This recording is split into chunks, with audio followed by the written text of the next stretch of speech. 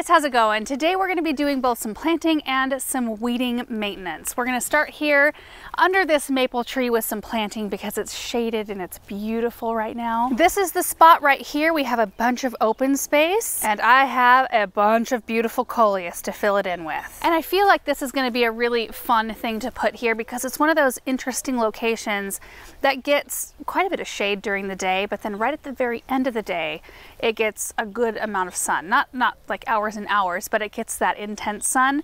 The ColorBlaze coleus can do sun or shade, so I think it's gonna be a really great spot for these. Plus it will add some much needed color. You know, we have this whole area is decked out with daffodils. There's like a thousand plus daffodils in this one flower bed and it looks really pretty, but I haven't really done much else. We did plant those boxwoods last year to kind of uh, finish up this hedge. Now that we kind of know what direction we're going for the entryway over there, I felt better about boxing that in.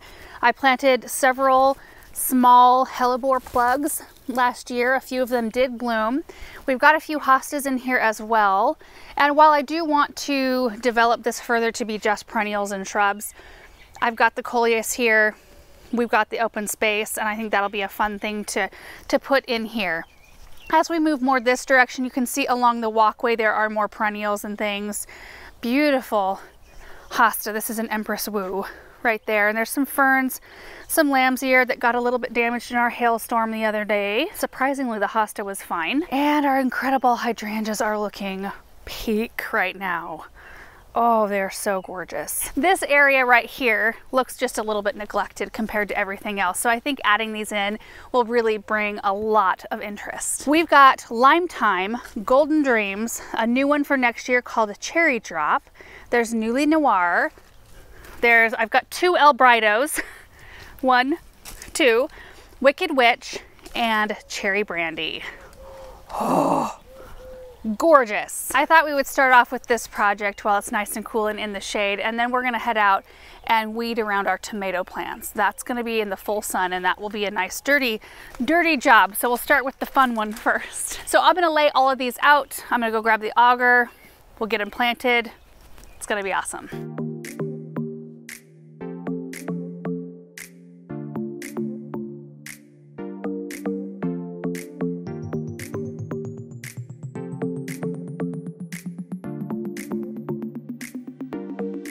Got them all laid out and there are so many more coleus than I thought I had in the back of the gator. This is going to look so beautiful. It already does look beautiful, even when they're not in the ground. I did grab some double up white begonias. I decided instead of this, this coleus wants to get pretty good size, I wanted a layer down here by the rock wall. So I kind of just edged it with the double up whites. And then I had a few left over that I'm gonna pop over onto this side. So four of the, the uh, cherry drop coleus and then a few of the begonia. Oh my goodness, this is gonna be so spectacular. Can you imagine when it's all filled in? Let's get them in the ground.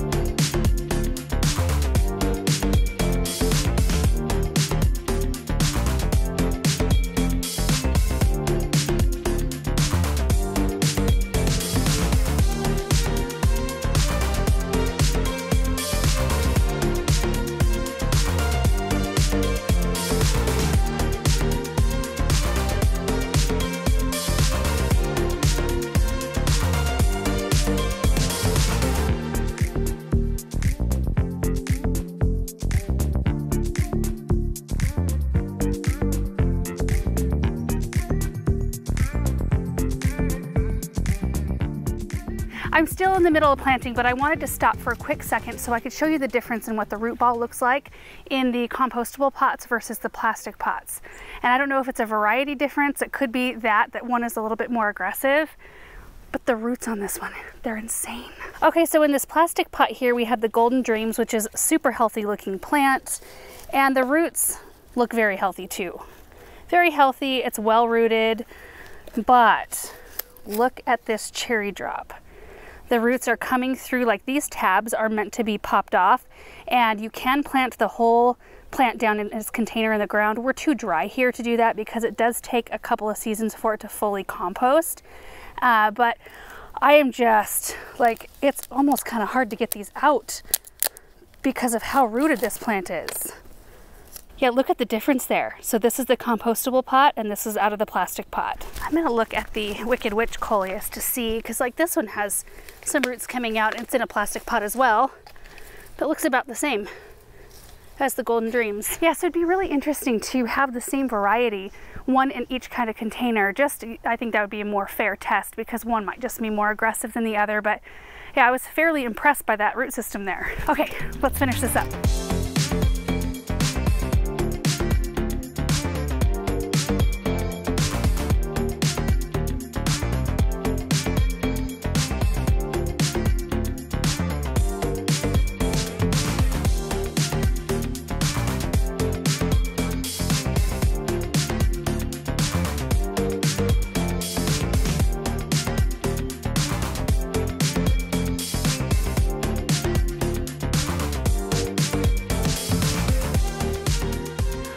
My goodness, you guys. This is the best I think this flower bed has ever looked, and it's not even filled in yet. Behold, the biggest coleus bed ever. It's so pretty.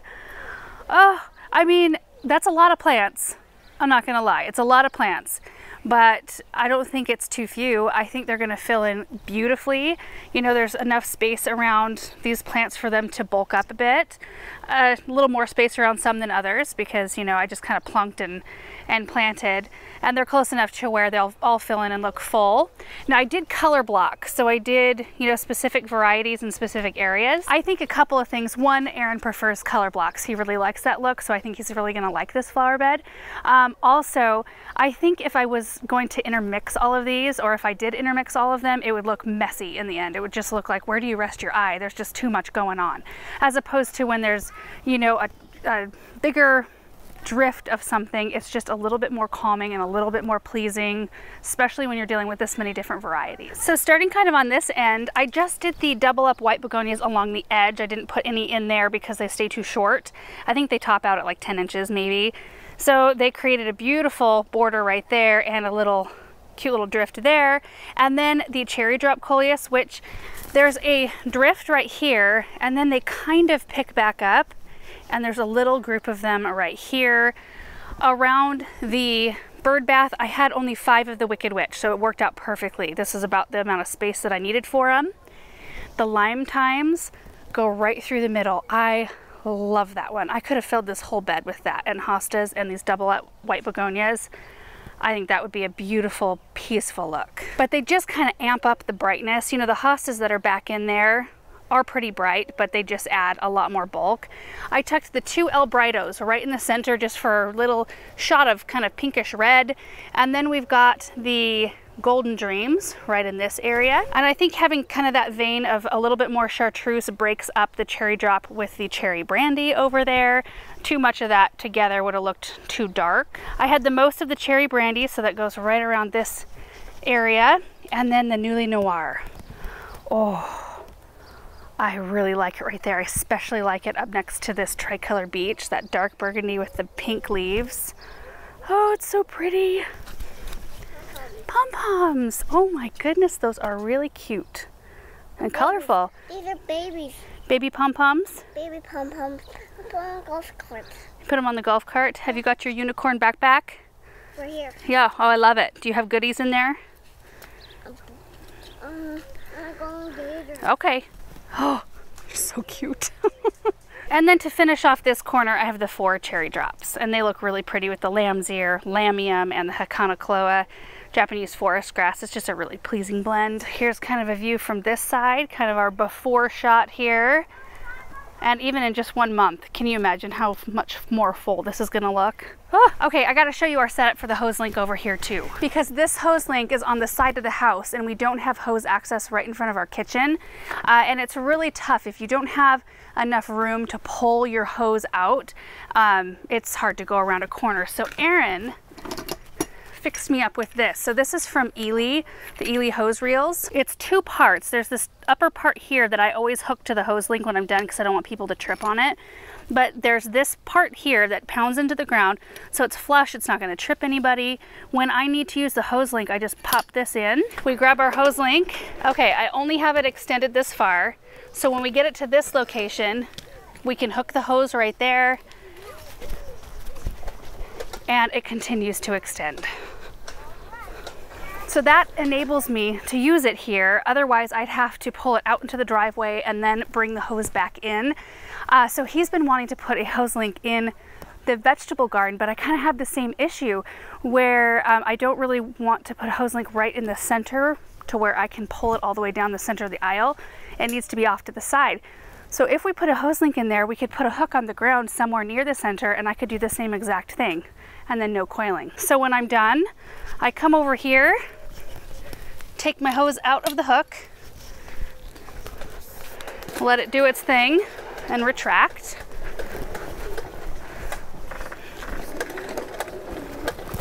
And then I come over, pick this up and store it right there. Game changer right there. Love it. Aaron's always good at thinking about how to make things more practical and easier on your body yeah, makes the whole project more pleasant. All right, guys, so that was project number one for the day. Didn't even break a sweat. It's so nice out here. I love it. And I intended on doing this one first just for that reason because I know that later on today it'll be in more sun. Uh, so now we're gonna head out to the area where we planted all of our tomatoes and we have a big weeding job to do out there. All right, guys, here we are. Here's our little alleyway of tomatoes and they're looking great. They're blooming. Some have already set some fruit. We've got sunflowers on this side, hibiscus, there's corn, all of our vine crops down toward the end. This is the main thing that I'm concerned about right here, just as long as the tomatoes go.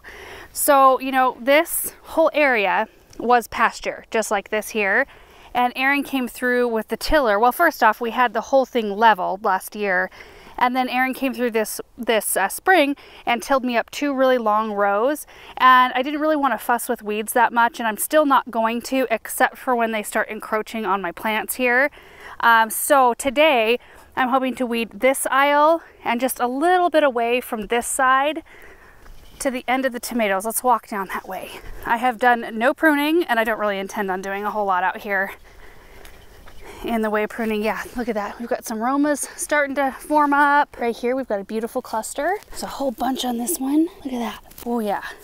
There's a bunch on this one too. And this one might be starting to turn a little bit red. Anyway, right at the end of the tomatoes, I'm just gonna kind of stop right here on either side.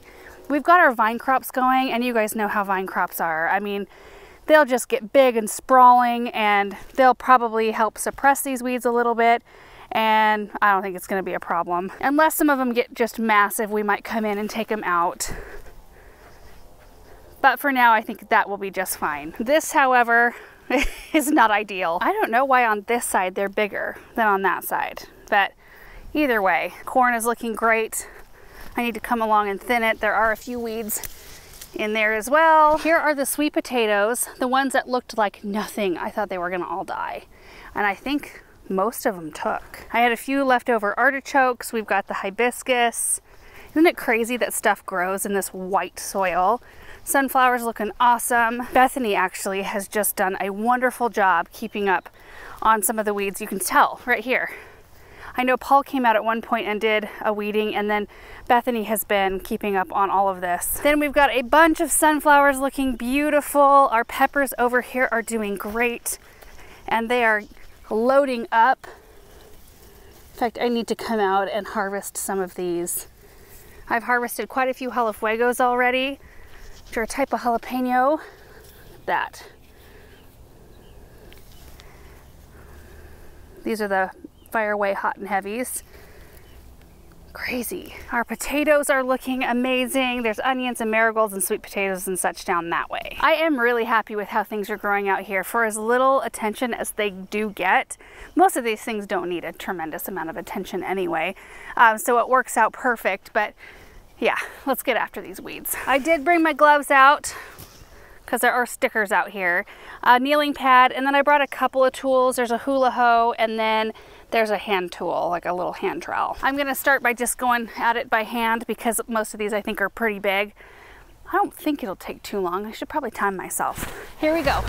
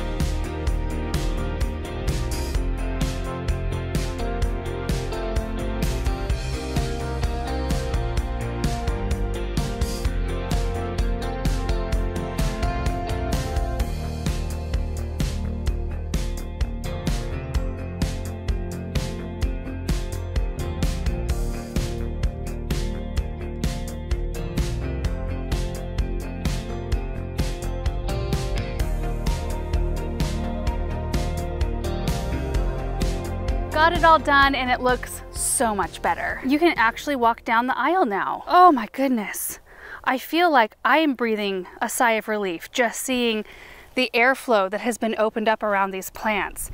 Now on this side, I didn't take after them as much because I'm thinking, I went along and I weeded all the big stuff that was right up against the plant. So you can see like there's a foot, 18 inches or so of air between the weeds and the tomatoes. But I'm wondering if we can bring one of our tractor implements, the brush hog out here and just mow this stuff down. I don't know how close we can get. Or maybe the lawn tractor, I'm not sure. But that sure would be a lot easier than hand pulling for sure. So the way it worked out best for me was to go through and hand weed whatever I could, most of which came up easy. There are a few stumps left on some of the bigger ones. And then I went through with the hula hoe afterward and just kind of cleaned it up. I scraped up any extra weeds that were still there or any stalks of weeds that, you know, just were harder to pull out. Yeah, there were some stumps that were just big and rooted in. And if I had a shovel, I could get that out. But given the fact that this isn't really a permanent garden, gardening space, I don't really want to spend, you know, a tremendous amount of effort on it. While I was at it, I did thin the two rows of corn closest to me and the sunflowers down there that were closest to me. I haven't done that yet. You should thin corn and sunflowers and anything you're growing way before it gets to this growth stage. But I think they look good and I'll run through these two real quick probably this evening when the kids and I are out here messing around. And then at the end here, I left enough space, you know, just to walk kind of through here. And then again, we'll just keep our eyes on this. If it works out to mow this side with the lawn tractor, I don't know, maybe we can come through and do this row two. But in the end, I don't know that it's gonna matter much. Every year, it seems like we're doing a new type of project or gardening in a new way. And I just kind of have to learn through it, you know, and kind of figure out the best ways to do things and oftentimes it takes two three years and and Aaron's involvement to get things to be the most efficient uh, for everyone. But I'm really enjoying this. This whole project has been so so much fun. And you know I wasn't planning on growing all of this stuff but we've already been giving things away. I mean I only grew eight cabbage plants but my sister-in-law is going to take some to make some sauerkraut. We've used some. I've preserved I preserved all of our broccoli. I blanched it and froze it. I've done a bunch of snow peas and I did a bunch of carrots carrots. Um, so I'm trying to be better about harvesting, like when we're out in the evenings, the, the, kids and I will harvest stuff and I'll just do like one sheet pan of veggies at a time, you know, freezing them and getting them put in bags. Um, but if you work at it just a little like small consistent efforts, I feel like I'm staying on top of it a little bit more. And I know that that will change when the real harvest season begins, you know, when all these tomatoes start bearing fruit and the corn is coming on and it all kind of happens at the same time. Uh, but it's nice to get a little bit of a head start now and get some of those early earlier crops put up so we can use them later on. Anyway guys, thank you so much for watching the video today. It was just a really nice, pleasant day. I think the high today is 81. Um, so it's very, very pleasant out here and it's not so humid today. So I'm not sweating. I don't know how you guys do it. Those of you who live in really high humid high humidity climates, it's like you walk out your door and you're already sweaty and I can work outside all day long in a 100 degree summer day and I'm barely, well, I'm sweating, but not like I am uh, when it's humid. Even like 50% humidity is high for me. I'm not used to that. anyway, guys, thanks so much for watching. We'll see you in the next one. Bye.